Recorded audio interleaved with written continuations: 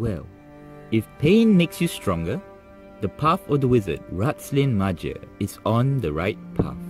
Last fire, we talked about how the frail Raistlin's mother had died of grief.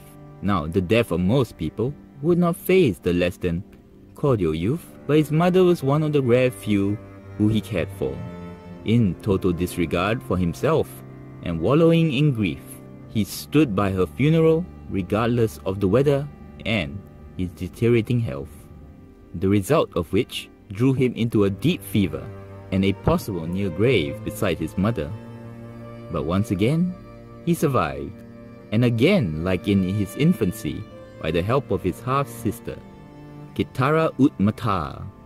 The family's woes, though, were not over, as after Raistlin's recovery, Caramon, his twin, suddenly was overwhelmed by terrible nightmares. So much so that Raistlin had to use his magic to put his brother to a peaceful sleep. After this spell of bad fortune, this is when the heroes of the lance will start to form, with the twins meeting a young man from Solamnia called Sturm Brightblade, who together captured a gang of thieves who worked in Solace. Two years from then, they also met the now famed Tanis Half-Elven, the Kender Tasselhoff Burrfoot, and a dwarf metalsmith. My personal favorite, Flint Fireforge. The early adventures they would have would give good experience to Raistlin to grow his magical skills. He even managed to pick up herbalism to help with his health, and also along the way, the almost paralyzing pain of the joints of old Flint. The twins, along with many of the future heroes of the lands, were in Haven for a market fair when an old acquaintance was there to greet the twins. This was Judith of the cult of Belzor, who was the woman who, in a way, put their mother to an early grave. There they found that Judith was actually a renegade wizard, who was using her magic to trick the townspeople.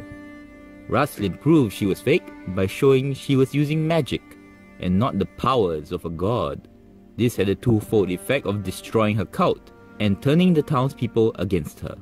Successful, the twins returned to Solace, found the town in the throes of a plague, which even killed Sturm Brightblade's mother.